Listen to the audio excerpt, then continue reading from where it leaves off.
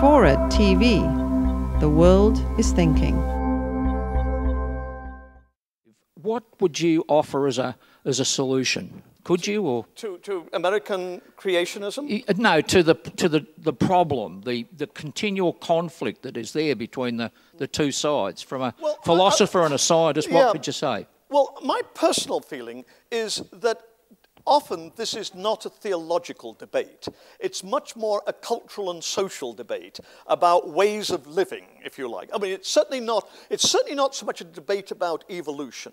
I really, truly don't believe anybody lay awake or lies awake at night and says, oh my God, I worry about Archaeopteryx. You know, how am I, how, you know, Archaeopteryx destroys my belief in a creator God. Uh, you know, my salvation is destroyed because of, arch- you know, or trilobites. I just don't think that happens. But the, what is the big debate? It, the big debate is abortion, gay marriage, uh, all, capital punishment, all of these sort of social issues. And I think that what has happened is that evolution has become a kind of flag for these. As it were, you know, it's, it, evolution represents one side rather than the other. And I mean, I, I really wouldn't ask anybody to spend their time reading creationist stuff unless you have to.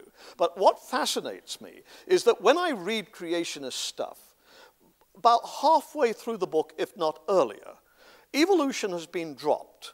And now, what you know, people like Philip Johnson are doing is they're going on now about abortion or the decline of marriage. Oh, one thing which always used to fascinate me is why do they keep going on about cross dressing? You know, did they honestly think that, you know, Ed Wilson, Richard Dawkins, Michael Ruse go home at night and say, Dear, I've had a hell of a day. I'd like a dry martini, and I think I'll put on my pink bra, bra and panties. You know, I mean, well, I can't speak for Richard Dawkins, but I know I don't. No. What they're worried about is Hillary Clinton in a pantsuit out there in Peking, you know, taking on a man's role. And that's what they find deeply threatening, is, is that. So, my personal feeling is the way to look at a lot of this debate is not as a theological one or even an evolutionary one, but more a social one. And unless and until we can find some way of bridging that kind of gap, now, I take, I mean, in America, I, I do take a certain comfort in the fact, for instance, that a lot of the younger evangelicals are starting to say, yeah, we agree about abortion, but can we please talk about global warming?